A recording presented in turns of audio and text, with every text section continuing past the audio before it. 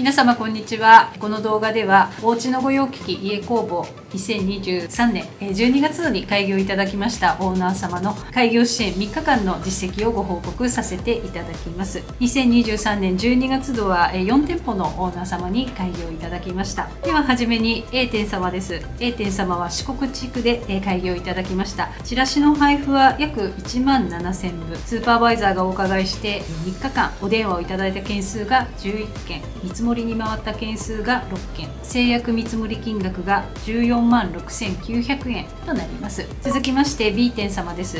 B 店様は関東地区で開業いただきました。チラシの配布は約2万5000部。3日間での入電数が2件。見積もり件数が1件。見積り制約金額が4万1500円となります。続きまして C 店様です。C 店様は北海道地区で開業いただきました。チラシの配布は約3万部。3日間での入電件数が11件。見積もり件数が5件。見積もり制約金額が5万5300円となってます。最後に D 店様です。D 店様は九州地区で開業いただきました。チラシの配布は約2万部。3日間での入電件数が11件。見積もり件数が5件。見積り制約金額が20万780円となっております。以上がおうちの御用聞き家工房2023年12月度に開業いただきましたオーナー様の3日間の開業支援の実績となります。この12月度4店舗のオーナー様に開業いただきましてこの4店舗の3日間での平均制約見積もり金額が